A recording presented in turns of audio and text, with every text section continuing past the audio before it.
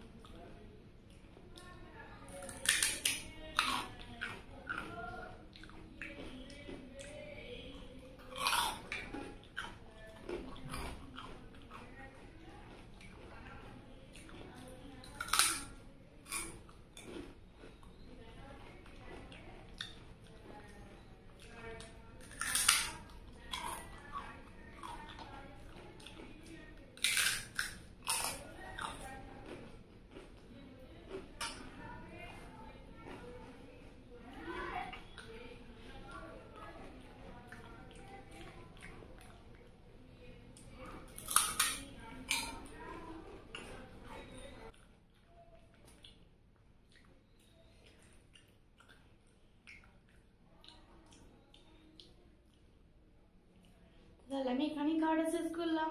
ভিডিওটি ভালো হয়ে থাকলে লাইক শেয়ার কমেন্ট আর সাবস্ক্রাইব করে দেবেন।